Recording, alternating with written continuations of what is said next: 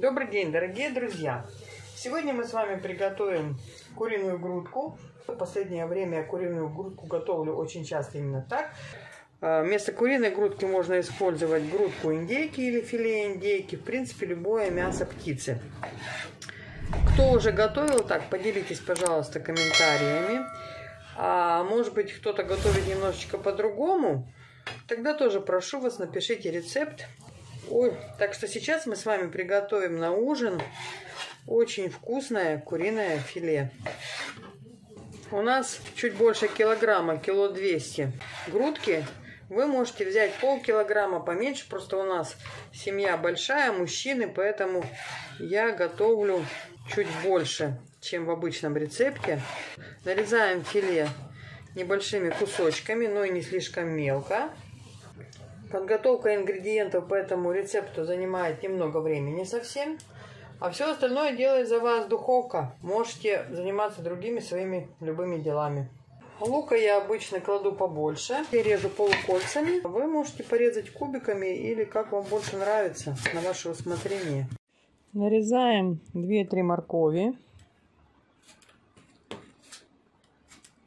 На разогретую сковороду сначала выкладываем морковь.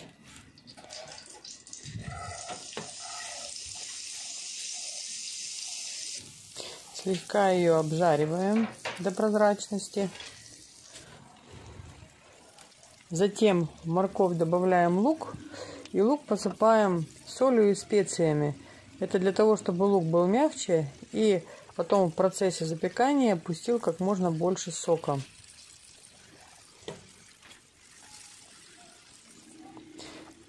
Лук с морковью обжариваем буквально минут 5.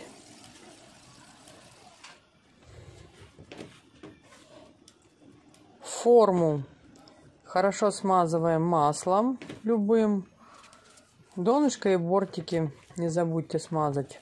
В отдельную емкость выкладываем мясо, добавляем соль и специи и перемешиваем вместе с жареным луком и морковью.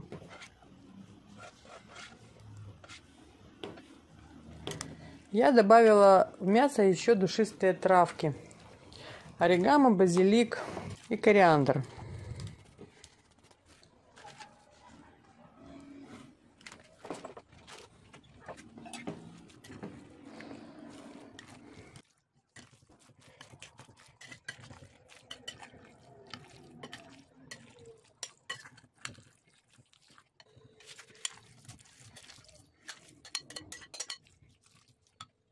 Разбиваем три.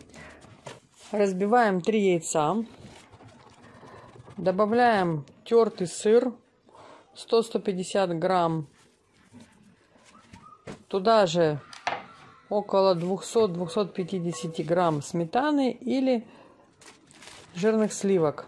Около 33%. У меня жирные сливки. Все хорошо перемешиваем.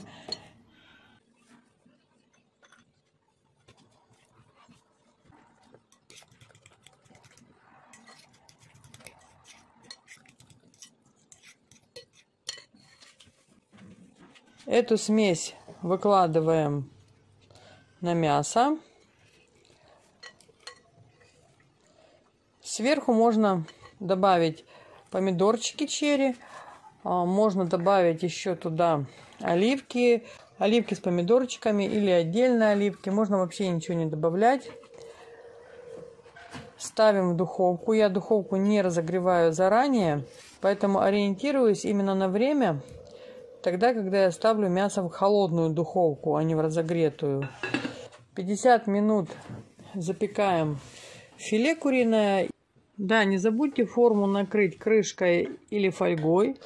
И через 10 минут после готовности оставляем еще на 10 минут, чтобы поверхность у нас подрумянилась. Все. Удачного приготовления, приятного аппетита.